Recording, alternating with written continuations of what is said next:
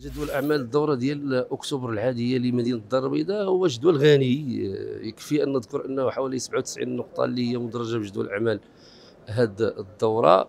كيدل على أن الرقم كبير وأن هناك انشغالات كبيرة داخل مدينة الدار البيضاء. لكن لكن الذي يؤسف له أن نقطة من النقاط أو جوج في جدول أعمال الدورة في الجلسة الأولى خيمت على الأجواء وعلى التصورات وعلى التحركات ديال الفرق خاصة التحالف المكون لمدينة الدار البيضاء اللي هي انتخاب النائب العاشر. وكأن إشكالية مدينة الدار البيضاء مختصرة في موقع أو مسؤولية داخل المكتب المسير.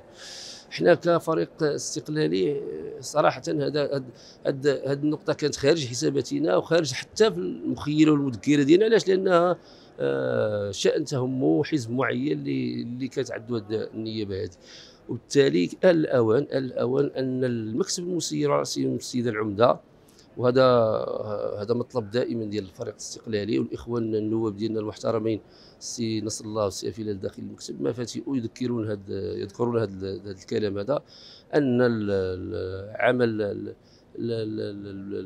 المجلس إنه تعطاه صيغ وابداعات تكون فيه اجتهادات.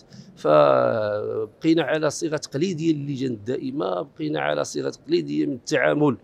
والتعاطي مع المحلي البيني يعني كمجلس كمنتخبين بينه وبين العمدة والمكتب المسير. ما فكرناش في في أدوات وآليات أخرى للتواصل وللعمل المشترك لأن إحنا تحالف فيه آه، ثلاثة مركزيين وزائد آه، الفريق الدستوري. إذا خص يكون عندنا آه، عمل مشترك عمل منسجم ما كيقتصرش فقط على المركز اللي هو مجلس المدينة بل يتعداه حتى إلى المقاطعة 16 وباقي الهيئات الأخرى اللي تدخل في دواليب تدبير مدينة الدار البيضاء من نقابات وجماعات وهيئات أخرى ولجان تتبع